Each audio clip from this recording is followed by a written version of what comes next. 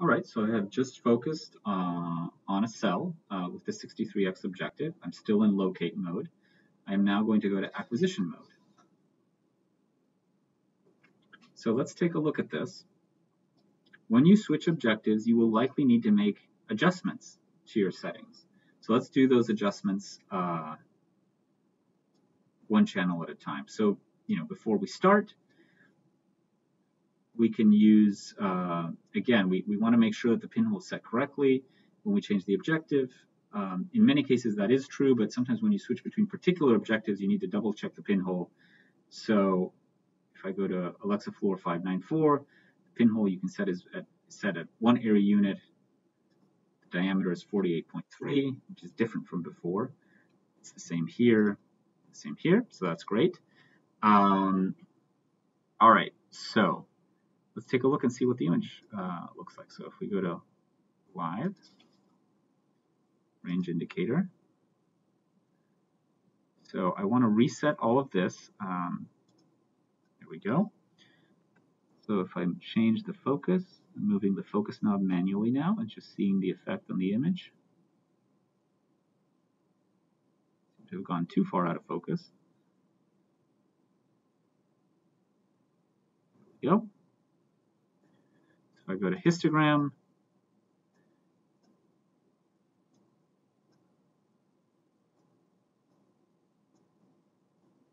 okay. So what are my intensities? They're close to what I would want them to be. I can maybe go up a little bit in, in laser power. It's maybe too much, so let me go down and gain a little bit. What I'm looking when I say too much is at these values, I want the maximum intensity pixels to be somewhere between 2000 and 2500. So let me go down a little bit more in gain. There we go. So that's about where I want it. The quality is quite good. If I look at the bleaching, I don't really see this going down significantly. Uh, so this looks like a good start. So let's try the other channels. I didn't have to make too many adjustments. Look at 488. Range indicator. So you can see in comparison, there's an extraordinary amount of detail. So I'm just going to move in Z to make sure that I have the brightest Z plane.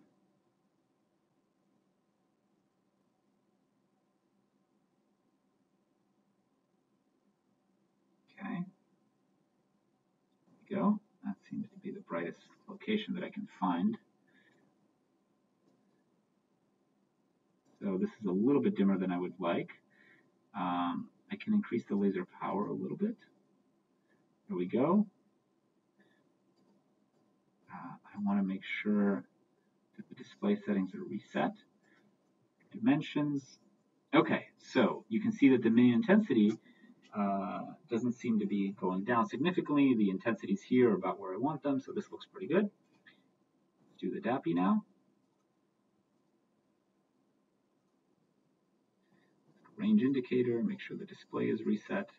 I don't get confused because if the display weren't reset, I could see something like this and be worried about saturation. But if I actually measured it, you can see there is no saturation. So I want to reset it so I don't get confused by that. Um, for the DAPI, I'm not interested in quality so much, so I'm just going to increase the gain a little bit. Okay, um, that looks perfectly acceptable to me. So now if we take an image,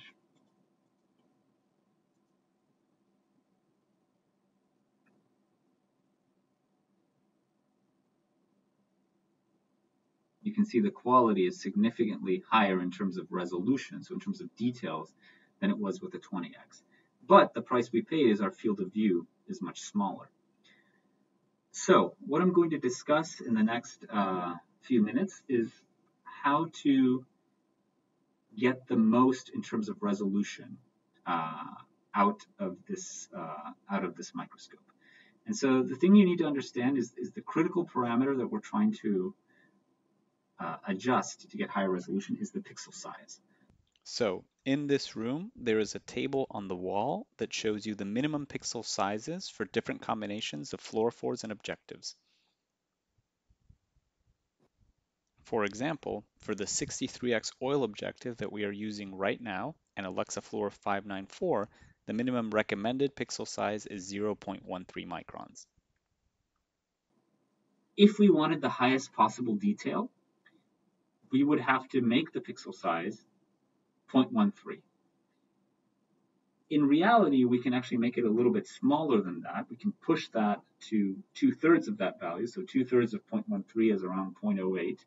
Um, but really, we can't push it much more than that. So the pixel size, uh, sort of the minimum pixel size for the highest level of detail for this kind of sample would probably be around the order of 80 nanometers. Uh, if we push it further than that, if we make a pixel size of 20 nanometers or 40 nanometers, it's just going to lead to empty magnification. It won't get us any extra detail. It'll cost us time and it'll cost us bleaching. So how do we set that pixel size to what we want? So here I strongly recommend that you look at my uh, confocal microscopy video because I have a, a detailed explanation uh, of how zoom, image size, pixel size, and frame size interact. Uh, right now, I'm just going to go through the mechanics of how to adjust these things, but I won't go into uh, too much into sort of how, how and, and, and, why they're related. So you have, uh, let's say we decide we want the highest detail possible. We want a detail uh, with a pixel size of 0.08. So we have two options to get that detail. One is to use a big image with a lot of pixels. So we'll have a big image size, a lot of pixels. It'll just take longer to take the image. The other is to zoom in only to what we want uh, and have a smaller image uh, with those small pixel sizes. And the way we, we, we adjust things to, to get those two extremes is either by adjusting the frame size or the zoom. Okay? Uh, so typically in the workflow that I recommend, and again, I, I strongly recommend you check out that video, what I say is first figure out what detail you need, that'll fix your pixel size, then figure out what image size you need, uh, because that will determine your zoom. So if you look here, if you go to live, uh, let's, let's do it um, just with the 488 channel. It's going to be easier. Live. Let's make sure we're in the proper focal plane. There we go.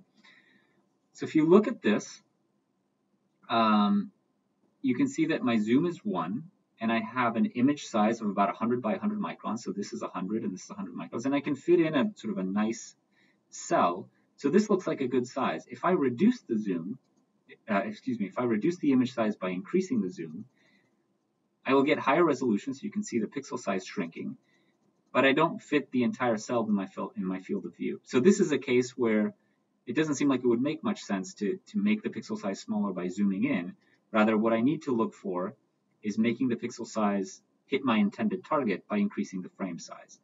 Okay, and so to get to a pixel size of about 0.8, I'll probably have to take the frame size to something like 1500. So here I'm increasing the number of pixels in the image. So uh, yeah, that's about where I want it. Let's just make it a little bit lower.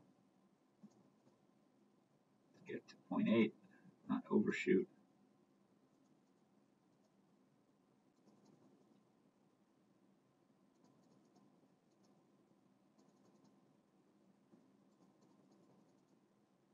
Okay, so now um, I have more pixels than I had before. I have a pixel size that's much smaller because all those pixels are in, in, in an image of the same size. So if I snap an image, uh, let me just max out the speed before I do that. Again, when you're changing the frame size and the zoom, always max out the speed before you do anything. Let me just snap an image.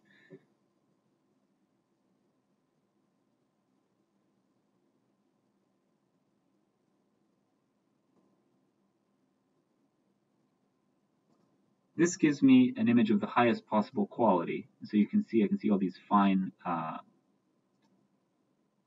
sort of details inside the image. Okay, so uh, the, the, major cost here is, in addition to bleaching, uh, time. So it takes a lot of time to take this image. It takes about 10 seconds to take the single plane. And so that's when you need to start trading off things. So maybe uh, you don't need to do as much averaging. So you can go to uh, an averaging of one instead of four, and you trade off quality for time. And so it's possible that this kind of uh, image, uh, if you take a Z-stack, which I'll show you in a second, you can uh, then recover some of the quality by running an algorithm called deconvolution on these images. Okay, and that may be a more efficient way of kind of getting more quality than trying to do it on the microscope itself, where it will cost you a, a lot of time. All right, so, so that, that is an example of what it would look like at 0.08. You could also have gone to 0.14, and whether to go to a pixel size of 0.13 or 0.14 or 0.08 really depends on, again, the level of detail that you need in the images and, and what you're willing to pay to get that level of detail. Um, let's say we, we, we, decide that with an averaging of 2, we get the contrast that we want, and with the pixel size of 0.8, we get the resolution that we want. Um, how do we take a z-stack? So how do we take uh, a series of images uh, separated uh, in the z dimension periodically to then reconstruct this in three dimensions? So to do that, we're going to click here on z-stack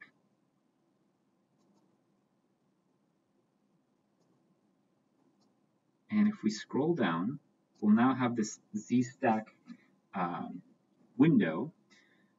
And so the, the main thing we need to do here is to tell the system where we want to start the Z-stack, where we want to end it, and what the spacing needs to be. So we don't put in the total number of slices. We, what we want is to put in the interval. So the software will subject, suggest an optimal interval. Uh, that works well if you're using uh, the pixel size value uh, that's on the table on the wall in, in, in the LSM 700 or LSM 710 room. If you want the highest, which in this case is 0.13, just take my word for that. Um, if you're using the highest value, which is sort of the highest possible resolution, which is a pixel size around two thirds of what's on that table, in this case 0.08, you want to use instead an interval of 0.2, okay? So that's if you want the highest possible resolution, you want to use that interval size. So let's let's set this up. I'm going to go to live. So now that we have the interval, what I want to do is I want to set the bottom. So I want to set set first. I'm going down by turning the focus knob toward me. I'm going to say set first. So right below where we start to see the signal. And then set last on the other side. So if I stop it here, you can see that's 16 slices. If you look here, you'll see that each scan, the scan time for each slice is going to be about five seconds. Uh, so that means that you will have so uh, about 80 seconds worth of imaging. All right, so if I now click on Start Experiment, not Snap, Snap will take a single image. If I click on Start Experiment, it will do sort of what it shows here, a single channel Z-stack, because I've, i only have this channel checked on. Um, what I'm going to do is I'm going to check on all channels. I'm going to take this Z-stack, I'll stop the video, and then I'll show you the results. All right, so I'm going to start it by clicking here. As this goes, this will fill up these different uh, uh, these different little vignettes uh, or tiles with an image of what was at that plane. So I'm going to pause the video and I'll come back when this is done. All right, so you can see the result of the um, of the completed Z-stack. Um, in this gallery view, you can see the different images that were taken. If you go to the 2D view, you now have a Z position slider, which allows you to move in the Z dimension and see all the different planes. Another useful display mode is orthogonal view, where you can see side cuts of the image. So this is the image in XY, and then these are views of the uh, of the image uh, stack in YZ or XZ. This is particularly useful if you have a thicker sample. Uh, so you can sort of cut it here at this red line and look at it from uh, the side, as it were, and you get this view, uh, or cut it at the green line and look at it from sort of seeing it, see, seeing Z X planes. and you can change where you do that by moving. This is a very useful uh, in, in, in larger samples. And please let me know if you have samples like that and I can explain in more detail how, how this works. Um, all right, so now we have uh, this image. Let me just save it. And then I'll show you uh, a few more things. Uh, so there are uh, a few more useful things. Um, one is if we went to a lot of uh, trouble to make these settings, if you come next time to the microscope and someone has been using another setting, so something like this, for example, DAPI and Cherry for whatever reason, you don't want to have to load the default, the you know the settings, MSL DAPI 48594, and then put in all the stuff that we did before. Instead, what you can do is open this image and click reuse. What reuse will do is it will reload all the settings of this image exactly as it was acquired. The only thing that it won't change is uh, the objective, which you will have to uh, change on the software. Uh, so basically, if you go to info, every single thing in here except the objective, which will be reload, which will be, excuse me, reloaded exactly as you used it to acquire an image. Okay, um, so that that is something very useful to just uh, kind of get going faster when you start up. Um, the other thing that I want to show you is if I unclick ZStack, uh, you can take a tile scan. So you can take multiple images uh, distributed in XY with this feature. And so you can do that by going down here, clicking on tile scan. And you can say, for example, that you want a, you know, a two by two tile. And so what it'll do uh, is it'll take images that will be one here, one here, one here, and one here. That's particularly useful if you have a tissue and you want to uh, capture a larger area. When you do that, you should leave an overlap of around 10% between the images. Uh, it's a good idea to click on bidirectional so that the stage moves in a snake pattern to, uh, to go faster. And I suggest you, you click on online stitching so that you get a stitched image at the end. So let's just uh, use this as an example. Uh, I'm going to briefly focus before I do this. So I'm going to unclick 594 and the 488, go to live.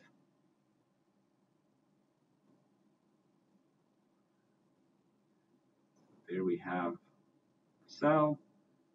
And I'm only going to do this in this channel. Say stop and start experiment so you can see it quickly. You can see it's a two by two tile. So this allows us the same resolution we had before, but just in a larger image. Okay, so this is more suited for tissue, but I don't have a tissue sample, so that's why I'm showing it to you um, on this one. Okay. Um, finally, one thing that's actually uh, you can do uh, on the uh, more so on the LSM 710 is you can make the scanner go bidirectionally. So right now the laser turns on in one direction, but then turns off when the when, when the moves the position back.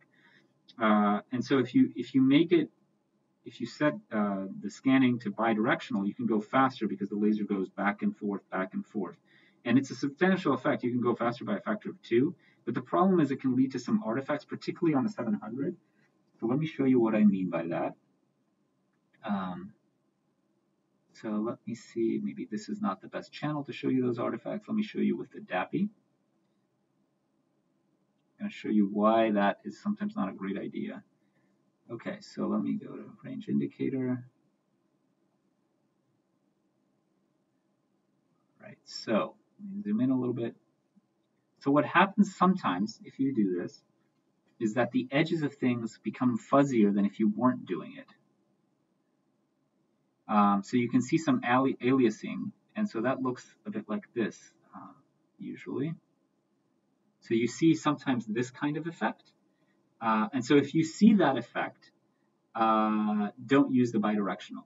But if you don't, um, you can use it and it will significantly speed up your acquisition by a factor of two. So it's just a matter of testing it once you have it. Uh, don't mess with these values. I just did that so that you could get a sense of uh, how things look. If when you put on bidirectional, you don't see a difference uh, in, in, in sort of the, the, the, quality of the image, use it because you'll go much faster. If you do see a difference, then don't uh, because that's going to cause all sorts of problems. Okay. Um, stop it there. It, it, interestingly, it didn't seem to cause problems here, which is which is great because it means that I can take a single image uh, in a fraction of the time that it took before. Um, so that concludes the sort of points I wanted to make about laser scanning confocal microscopy. Uh, I hope you found this useful as a refresher for what to do. And as always, please let me know if you have any questions.